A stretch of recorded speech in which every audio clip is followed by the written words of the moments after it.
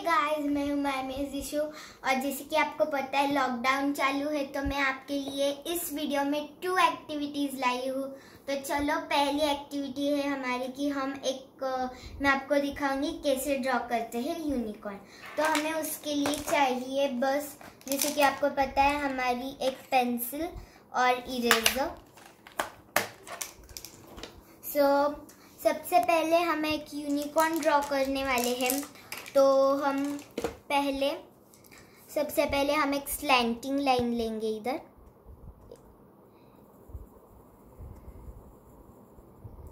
फिर ये slanting line होने के बाद हम इस, इसको ऐसे कर्व देंगे।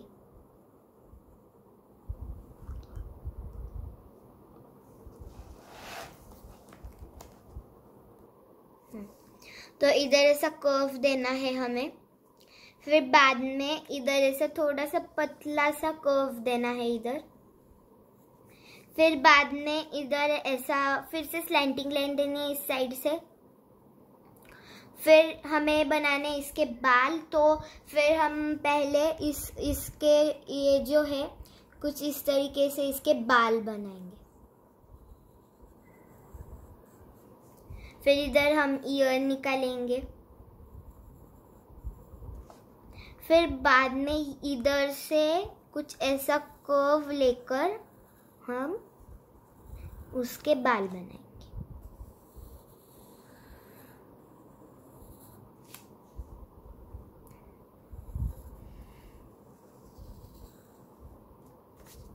और अभी हम इधर से एकदम छोटा इधर कर्व लेकर हम इधर ये जॉइन करेंगे।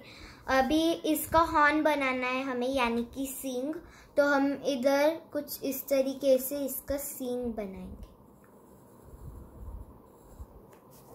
फिर हमें बनाने हैं, बनानी है इसकी आँख तो हम ऐसा थोड़ा सा हाफ़ सर्कल लेंगे इधर और फिर इधर ऐसे आईलेसेस उसके निकालेंगे। फिर बाद में हमें इधर ऐसे कलरफुल कलर्स करने हैं तो हम इधर इधर ऐसी लाइंस बनाएँगे।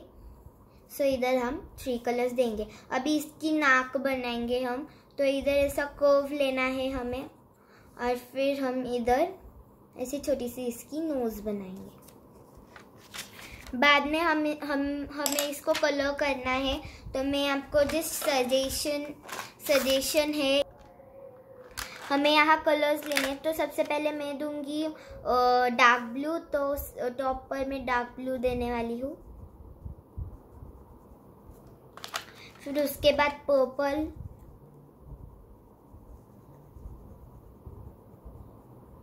और फिर उसके बाद रेड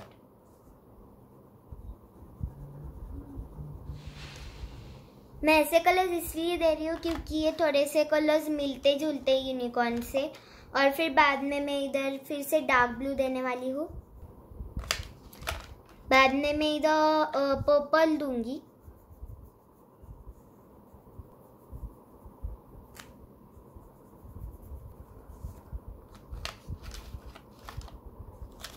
फिर बाद में मैं दूँगी इधर रेड आप अपने मन चाहे कलर्स दे सकते हैं।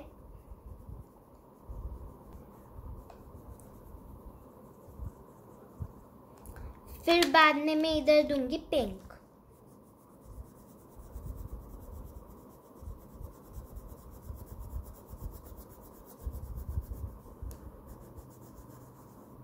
और नाक को भी हम हल्का सा पिंक देंगे।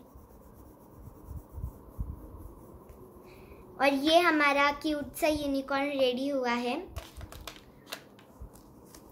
ये हमारा क्यूट सा यूनिकॉर्न है तो अभी ये रेडी हो गया है। अभी ये रेडी हो गया है तो आप देख सकते हो कि ये बहुत क्यूट सा यूनिकॉर्न बना है। तो हम सेकेंड एक्टिविटी करें।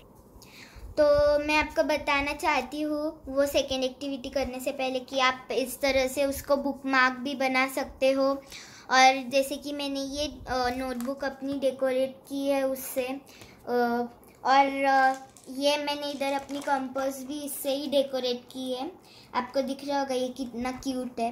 तो बाद में हम लोग अभी सेकेंड एक्टिविटी करेंगे। अभी हम बनाने वाले हैं एक हाउस उसके लिए चाहिए आपको एक स्क्वायर पेपर तो सबसे पहले आपको ये जो, ये दो कॉर्नर्स है वो फोल्ड करने, एक दूसरे से जोड़ने, फोल्ड कर कर। सेम स्टेप आपको दोहरानी है उस साइड से। ऐसे आपको फोल्ड करना है। फिर बाद में ये साइड से आपको ऐसे फोल्ड करना है। और ये ये दोनों जो है, ये इधर से ऐसे, इधर लाइन पर ले आना है आपको। फोल्ड कर कर ऐसे ले आना है।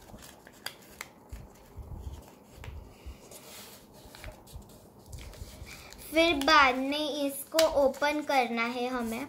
और ये जो है, इधर का हिस्सा, खुला हिस्सा, वो हम इधर से ये लाइन से ऐसे फोल्ड करेंगे।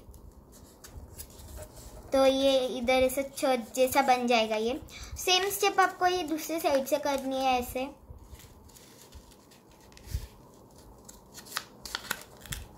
बन गया है हमारा सुंदर सा हाउस तो हमें इसको थोड़ा सा अभी खिड़की निकालनी होगी और दरवाज़ा भी निकालना होगा। तो मैं जस्ट आपको दिखाती हूँ, ये मैंने ऑरेंज क्रेन लिया है। तो मैं इधर उसका दरवाज़ा निकालूँगी। हम्म। तो ये हमने इधर दरवाज़ा बना लिया है तो हम इधर इसकी खिड़की बनाएँगे। तो अभी इधर हम एक छोटी सी खिड़की बनाएँगे। वैसे ही इधर हम लोग अभी खिड़की बनाएँगे इधर।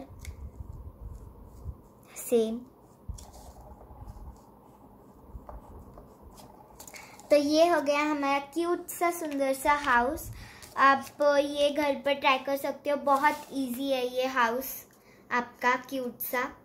और इसको कुछ ज़्यादा लगता भी नहीं है। तो डेढ़ लाख लाइक ज़रूर पहुँचा देना और सब्सक्राइब ज़रूर करना। बाय